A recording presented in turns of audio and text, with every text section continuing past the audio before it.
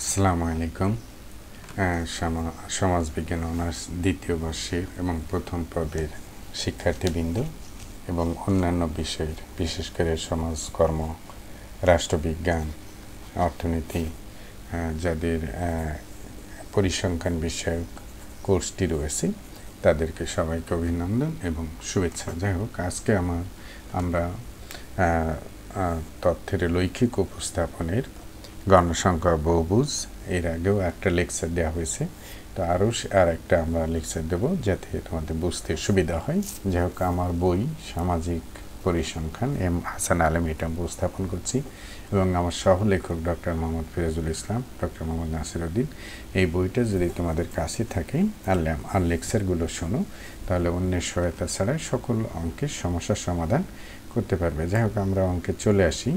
দেখো, আমার বইয়ের একশো তেইশ পৃষ্ঠার সমস্যা নয়, যেটা জাতীয় বিশ্ববিদ্যালয় দুই এগারো সালে যে প্রশ্নটা এসেছে, সেটা নিয়ে আমরা আজকে আলোচনা করব।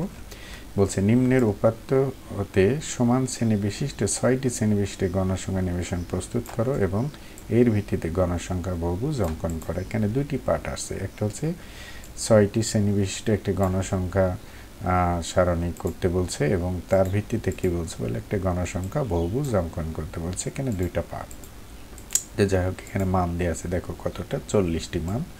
এই হলো মান, আমারগুলো দেওয়া আছে।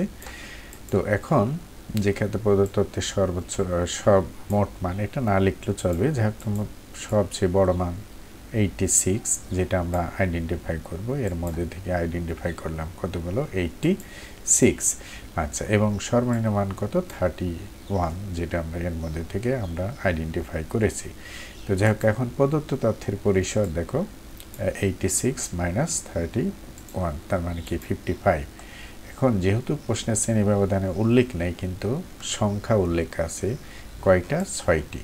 তাহলে আমাকে পরিসরকে আমি ছয় দিয়ে ভাগ করব। তাহলে এখানে পঞ্চান্নকে যদি ছয় দিয়ে ভাগ করি তাহলে আমার রেজাল্ট কত? দাঁড়াল নাইন পয়েন্ট ওয়ান সেভেন অর্থাৎ পূর্ণ সংখ্যার সাথে যদি দশমিক আসে, তার জন্য এক যোগ করব, তাহলে শ্রেণি ব্যবধান কত হলো? দশ। এখন আরম্ভ সংখ্যা, যেহেতু আমার সর্বনিম্ন মান কত আছে? থার্টি ওয়ান তাহলে আরম্ভ সংখ্যা ধরে তিরিশ ধরে গণনার সুবিধাতে ধরলাম। তিরিশ ধরে বহির, যেটা আগের লেকচারগুলোতে আমরা গণসংখ্যা নিবেশন কীভাবে প্রস্তুত করতে হয় সেই সম্পর্কে একটা ধারণা পেয়েছি, সেইভাবে করবা। তিরিশ ধরে বহির্ভুক্ত পদের সাহায্যে গণসংখ্যা তৈরি করলে এটা একটু বলি, এটা বহির্ভুক্ত করা যেতে পারে, অন্তর্ভুক্ত করা যায়। দেখতে হবে তোমার ছয়টি ঘর হয় কিনা। তাহলে তিরিশ ধরে বহির্ভুক্ত পদের সাহায্যে গণসংখ্যা নিবেশন তৈরি করলেও তা হতে গণসংখ্যার বহুভুজ অঙ্কন করা হলো। তা আমরা জানি গণসংখ্যা নিবেশনের তিনটি প্রধান পার্ট থাকে। কী কী বলো? শ্রেণি ব্যবধান চিহ্ন এবং গণসংখ্যা। যেহেতু গণসংখ্যা বহুভুজ অঙ্কন করতে বলছে, তার জন্য অতিরিক্ত ঘর লাগবে কি? শ্রেণি মধ্যবিন্দু। তো যাই হোক, আমার আরম্ভ সংখ্যা তিরিশ ধরেছি, তিরিশ থেকে চল্লিশ চল্লিশ থেকে পঞ্চাশ পঞ্চাশ থেকে ষাট ষাট থেকে সত্তর সত্তর থেকে আশি আশি থেকে নব্বই, যেটা আমার সর্বনিম্ন মান এবং সর্বোচ্চ মান এর মধ্যে আছে। আর ঘর কয়টা হলো দেখতাম একটা, দুইটা, তিনটা, চারটা, পাঁচটা, ছয়টা। অর্থাৎ সমান ছয়টি বিশিষ্ট ঘরে আমরা সাজালাম। এবার শ্রেণি মধ্যবিন্দু, তিরিশ থেকে চল্লিশ যোগ করলে কত? সত্তর, দুই দিয়ে ভাগ করলে পঁয়ত্রিশ। যেহেতু শ্রেণি ব্যবধান দশ প্রত্যেকের সাথে দশ যোগ করো পঁয়তাল্লিশ, পঞ্চান্ন, পঁয়ষট্টি, পঁচাত্তর, পঁচাশি। এখন আমরা টালি চিহ্ন, যেহেতু আমি এখানে অঙ্কটা করে দিয়েছি, তাহলে তোমাদের বোঝানোর জন্যেই আমি আবারও এটা দেখো কীভাবে করেছ তোমরা এটা সময় নষ্ট না করি, যেহেতু তোমরা এটা বোঝো, তাই আমরা টালি চিহ্নটা তারপরে একটু ধারণা দিয়ে নিই। তাহলে আমরা যে কাজটা করব সেটা একটু লক্ষ্য রাখো। যে আমার প্রথম ঘরে, দেখো প্রথম সংখ্যাটা কত? ফিফটি তাহলে ফিফটি কোথায় বসবে? ফিফটি হলো এখানে আছে এখানে আছে, কোথায় বসবে? নিচের ঘরে। তাহলে ফিফটির জন্য একটা আমি ট্যালি দিলাম। আবার সেভেন্টি সেভেন সেভেন্টি সেভেন এইখানে যখন যেটা টালি দিবা সেটা টিক চিহ্ন দিয়ে দিবা অথবা একটা টিকমা ক্রস চিহ্ন দিয়ে দেবা। তাহলে সেভেন্টি সেভেন কোথায় হবে? সত্তর থেকে আশির মধ্যে এইভাবে বসালাম, তাই না? তারপরে কত? ফিফটি ফোর ফিফটি ফোর কোথায় বসবে? এইখানে লাল কালি দিলাম ফিফটি ফোর পঞ্চাশ থেকে ষাট, এইভাবে আমরা দিলাম। তারপরে কত আছে? সিক্সটি ওয়ান সিক্সটি ওয়ান কোথায় বসবে? সিক্সটি ওয়ান দেখো সিক্সটি থেকে সেভেন্টির ঘরে।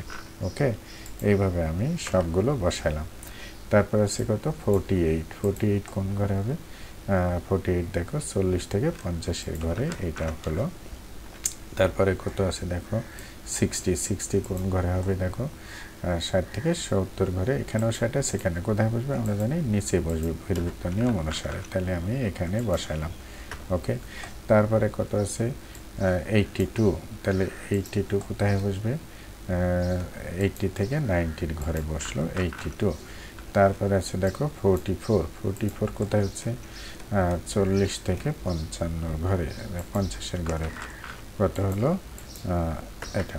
তারপরে হচ্ছে দেখো ফিফটি ফোর ফিফটি ফোর কোথায় বসবে ফিফটি থেকে এই ঘরে ওকে তাহলে এখান থেকে আমি পাইলাম।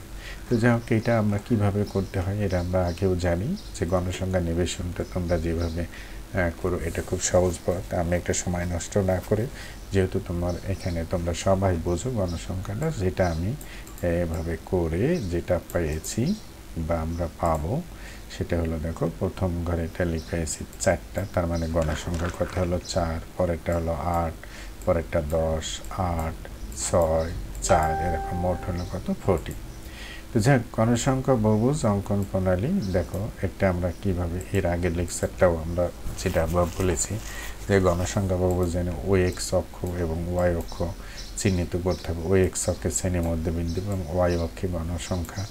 স্কেল অনুযায়ী বসাতে হবে আচ্ছা যাই হোক, আমরা আমার এখানে ফিরে আসি এই কথাটাই। যেহেতু এইখানে আমার আবার বলে নাও, যেহেতু আমার এখানে কি আছে যে এখানে যে মানগুলো আছে একটু লক্ষ্য রাখো। আমার যে মানগুলো এখানে দেয়া আছে, এখানে কি কি দেয়া আছে দেখো। আমার সর্বোচ্চ মান এখানে যেটা দেয়া আছে, আমি এখানে প্রতিটা পাঁচ ঘর পাঁচ ঘর, অন্তর অন্তর। দেখো, একটা ঘর আছে, দেখছ? প্রতিটা পাঁচ ঘর পাঁচ ঘর, অন্তর একটা ঘর আছে, যে ঘরে আমি এটা বসাবো। দেখো, তো যদি আমি এখানে বসাই, তাহলে কি কি হবে? লক্ষ্য রাখো, তাহলে প্রথমটা আমার যেহেতু শ্রেণি মধ্যবিন্দু, কত বলো? পঁয়ত্রিশ। দেখে প্রতিটা পাঁচটা ঘরের পর পর একটা বোল্ড চিহ্ন আছে, তাহলে এখানে আমি কত বসালাম? পঁয়ত্রিশ। পাঁচ ঘর পর পর তারপরে এইটাকে যদি আবার পরের পাঁচ ঘরে নিয়ে আসলাম আমি, পঁয়ত্রিশের পরে কত আমাদের আছে? পঁয়তাল্লিশ। পঁয়তাল্লিশ আমি নিয়ে আসলাম। ওকে? পঁয়তাল্লিশ। এবার পরের ঘরেও যাব আমি। এই পাঁচ ঘর পর পর আমি যেহেতু একটা বোল্ড চিহ্ন দিয়ে আছে, পঁয়তাল্লিশের পরে কই হবে বলো? পঞ্চান্ন। পঞ্চান্ন নিলাম। তারপরেরটাও আমি কী করব? পরেরটাও পঞ্চান্নর পরে আছে আমার হলো পঞ্চান্নর পরে আছে যেটা, দেখো পঞ্চান্নর পরে কত হবে? পঁয়ষট্টি। পঁয়ষট্টি নিয়ে আসলাম। পঁয়ষট্টিকে পঁয়ষট্টি তারপর কত হলো? পঁয়ষট্টি। তারপরে আমার কত আসবে দেখো? পঁয়ষট্টির পরে যেটা আসবে সেটা হলো পঁয়ষট্টির পরে কত হলো? পঁচাত্তর, তাই না? এবার পঁচাত্তরে আমি আসলাম। পঁচাত্তর পরে যেটা আসবে দেখো পঁচাত্তরের পরে আসবে। আমার সর্বোচ্চ পঁচাশি, তাই না? তাহলে আমি ও এক্স অক্ষে কী বসাইলাম? শ্রেণি, মধ্যবিন্দুগুলো বসাই বসিয়ে নিলাম, ঠিক আছে? এখন দেখো, লক্ষ্য রাখো, আমার সর্বোচ্চ, তাহলে আমার কি? প্রতি পাঁচ ঘর পর পর আমি শ্রেণি, মধ্যবিন্দু বসালাম এখন দেখো, পঁয়ত্রিশ থেকে পঁয়তাল্লিশের ব্যবধান কত? দশ। কিন্তু ঘর আছে কয়টা? পাঁচটা। তাহলে প্রতি ঘরের ব্যবধান কত হচ্ছে? দুই। তাহলে আমি ও এক্স অক্ষে প্রতি পাঁচ ঘর সমান ছয় একক। আচ্ছা এইখানে একটা প্রশ্ন আছে যে প্রতি পাঁচ ঘর সমান বা প্রতি বর্গ ঘর সমান, প্রতি বার বর্গ ঘর সমান কত বলো? দুই একক। প্রতি বর্গ ঘর সমান কত বলো? দুই একক। অর্থাৎ আমি এইখানে যে ব্যবধানগুলো আছে, সেখানে আমি কত ধরলাম? প্রতি ঘর সমান কত বলো? দুই একক। এবং ওয়াই অক্ষে দেখো যে এখানে আমার সর্বোচ্চ গণসংখ্যা আছে কত বলো? দশ। তাহলে আমার উচ্চতা কত হবে? দেখো, দশ। তাহলে উচ্চতা আমার কত হবে? দশ। তাহলে আমাকে সাধারণত এই সাইজের একটা গ্রাফ দেবে।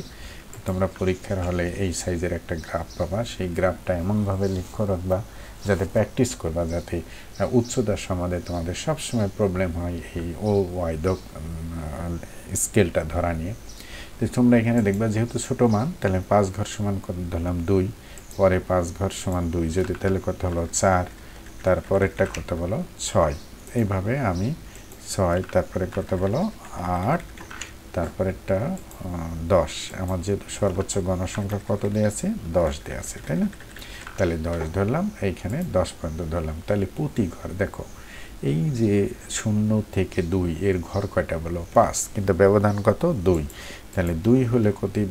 ঘর সমান কত? পয়েন্ট ফোর একক বা পাঁচ ঘর সমান দুইও বলতে পারো। তাহলে পাঁচ ঘর সমান দুই একক বা ওই অক্ষে এক ঘর সমান কত বলো? পয়েন্ট ফোর একক ধরে আমরা এটা গণসংখ্যা নিবেশনটা তৈরি করলাম, ঠিক আছে? অর্থাৎ ও ওই অক্ষটাকে আমি চিহ্নিত করলাম। আবার বুঝে নাও। তাহলে এখন যে কাজটা করতে হবে সেটা খুব ভালো করে মনোযোগ দেবো তাহলে আমার গ্রাফের যে মূল কাঠামো সেটা হলো ওই এক্স অক্ষে শ্রেণি মধ্যবিন্দু এবং ওয়াই অক্ষে গণসংখ্যা বসালাম। তোমরা সবসময় আমার যেটা অভিজ্ঞতা দেখা গেছে যে ওয়াই ও ওয়াই অক্ষ নিয়ে তোমাদের বড় ধরনের প্রবলেম হয়, সেটা যেহেতু তোমার গ্রাফ এই সাইজ দেবে, তোমাকে সেইভাবে চিন্তা করে করতে হবে। এখন যে কাজটা করছে ও এক্স এখন বলছি যে যে প্রতিটি শ্রেণির মধ্যবিন্দুর জন্য যে গণসংখ্যা আছে, যেমন পঁয়ত্রিশের জন্য গণসংখ্যা কত আছে বলো? চার। চারের জন্য আমি একটা বিন্দু দিলাম। একেবারে পঁয়ত্রিশ বরাবর চারের জন্য আমি একটা বিন্দু স্থাপন করলাম। যেহেতু বিন্দুগুলো আমি আগে দিয়ে রাখছি আমার সময় কমানোর জন্য, চারে দিয়ে রাখছি। তারপরে কত দেখো? পরেরটা আছে কত? আট। পঁয়তাল্লিশের জন্য কত আছে? আট। এই যে আমি পঁয়তাল্লিশ বরাবর ওই যে আটে চলে গেলাম, দেখো, এই আট বিন্দু দিলাম। তারপরে আছে কত? দশ। অর্থাৎ পঞ্চান্ন বরাবর আমি দশ। দেখো, পঞ্চান্ন বরাবর আমি দশ দিলাম। তারপরে কত আছে? পঁয়ষট্টি বরাবর আট। দেখো, এই যে পঁয়ষট্টি বরাবর আমি আট একটা বিন্দু স্থাপন করলাম। তারপরে কত আছে? ছয়। অর্থাৎ পঁচাত্তর বরাবর কত আছে? আমার ছয়। ছয়ের জন্য একটা বিন্দু দিলাম এবং লাস্টে পঁচাশির জন্য কত আছে? চার। চারের জন্য আমি একটি বিন্দু দিলাম। এখন যে কাজটা করব, আমি এই বিন্দুগুলো ক্রমান্বয়ে আমি যোগ করব। একটা বিন্দুর সাথে আরেকটা বিন্দুর ক্রমান্বয়ে স্কেলের সাহায্যে যোগ করব। মনে রাখতে হবে, গণসংখ্যা, বহুভুজ বিন্দুগুলো স্কেলের সাহায্যে যোগ করতে। আর সেম উদাহরণে যদি বলতো যে গণসংখ্যা রেখা অঙ্কন করো, তাহলে কি করতে? এটা হাতের সাহায্যে করতে বা মুক্ত হস্তে করতে। তাহলে আমি এই বিন্দুগুলো ক্রমান্বয়ে স্কেলের সাহায্যে আমি কি করলাম বলো? যোগ করব। যোগ করে যে রেখাগুলো আমি পাবো দেখো বিন্দুগুলো আমি ক্রমান্বয়ে, প্রথম থেকে দ্বিতীয়টা এইভাবে ক্রমান্বয়ে যোগ করবা। যোগ করলাম, এটাও যোগ করলাম। যোগ করে যে, দেখো চিত্রটা একটা শেপে দাঁড়াই গিয়েছে। তাহলে এই যে রেখাটা পাইলাম, এই রেখাটাকে আমরা বলছি কি বলো? গণসাঙ্গ বুঝি এখন যে কাজটা করব, এই যে এই চিহ্নটা মনে রাখবা যে এইটার মাঝখানে ধরবা ধরে এই এই দুইটার মাঝখানে, অর্থাৎ এই সংখ্যার যেটার মাঝখানে আছে, দেখো, মাঝখানে ধরে এইটার সাথে যোগ করে দেবা। অর্থাৎ এই দুইটার মাঝখানে যোগ করে দিবা, ওকে? এটারও ঠিক অনুরূপভাবে এটা আমি যোগ করে দেব। তাহলে এই ডট ডট চিহ্নটা হচ্ছে কি, এই দুইটার মাঝখান থেকে এটা যোগ করে দেবো, এটারও মাঝখান থেকে এটা যোগ করে দিলাম, ওকে? তাহলে এখন আমি যেটা পেলাম, এই চিত্রটার নাম হচ্ছে কি বলো? গণসংখ্যা বহুভুজ। আচ্ছা গণসংখ্যা বহুভুজের যেটা আবারও বলে রাখি, ও এক্স অক্ষে কি থাকবে? শ্রেণি মধ্যবিন্দু। আর ওয়াই অক্ষে থাকবে কি বলো? গণসংখ্যা। তো মনে রাখতে হবে যে যে দুইটা জিনিস মাথায় রাখতে হবে, সেটা হলো যে তোমরা প্রত্যেকটা, মূলত তোমাদের তিনটা গ্রাফ আসে আয়তলে গণসংখ্যা, বহুভুজ এবং অজীব রেখা। তো আয়তলেখে থাকবে কি শ্রেণি ব্যবধান, গণসংখ্যা। গণসংখ্যা বহুভুজে কি শ্রেণি মধ্যবিন্দু এবং কি বলো গণসংখ্যা ওয়াই অক্ষে। এবং অজীব রেখা যখন আমরা শিখব, সেটা শ্রেণি তাহলে একটা জিনিস মনে রাখব ও এক্স অক্ষে কখনোই গণসংখ্যা থাকবে না। সবসময় শ্রেণি বা ভূমির সাথে যেগুলো থাকে, সেটা হলো শ্রেণি ব্যবধান, শ্রেণি মধ্যবিন্দু, এইগুলো থাকবে। কখনোই ওই এক্স অক্ষে গণসংখ্যা থাকবে না। যাই হোক, এখানে তোমরা শর্ট করে একটা স্কেলটা লিখে দিবা যে ওই এক্স অক্ষে এক ক্ষুদ্র বর্গ ঘর সমান কত আমরা ধরলাম, কত বলো? দুই একক। আচ্ছা এবং ওয়াই অক্ষে এক ক্ষুদ্র বর্গ ঘর সমান কত বলো? পয়েন্ট পয়েন্ট কত? ফোর একক আমরা ধরেছি। এটা লিখতেও পারো, নাহলে যেহেতু আমি এখানে ব্যাখ্যা দিয়ে দিচ্ছি তোমরা এই ব্যাখ্যাটা না দিলেও চলবে। তোমরা যদি এই, তবে এই স্কেলটা অবশ্যই অবশ্যই উল্লেখ করে দেবা। তাহলে তোমাদের বুঝতে সুবিধা হবে। যাই হোক, এটার নাম হলো কি বলো? গণসংখ্যা বহুভুজ। এখানে আমরা মূলত আরও যে উদাহরণগুলো দিয়েছি, সেটা উদাহরণগুলো পড়বা, তাহলে তোমাদের ইজিলি বুঝতে বুঝতে পারবা। যাক পাশাপাশি আমার যে বইটা আছে, এখানে প্রচুর অনুশীলনী দেওয়া আছে, সেই অনুশীলনগুলো করবা, তাহলে তোমাদের কোনো সমস্যা হবে না। তারপরে যদি কোনো বোঝার কোনো সমস্যা থাকে আমার সাথে যোগাযোগ করবে, আর নিচে কমেন্টস করবে তোমরা যারা নতুন আছো, তারা আমার চ্যানেলে সাবস্ক্রাইব করবে, তাহলে ধারাবাহিকভাবে লেকচারগুলো পেয়ে যাবে সবাইকে। ধন্যবাদ। আসসালাম।